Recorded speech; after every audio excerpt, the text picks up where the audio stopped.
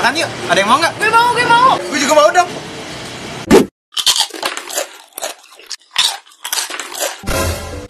Kulit ayamku. Apa salahku Edik, gue minta minum ya.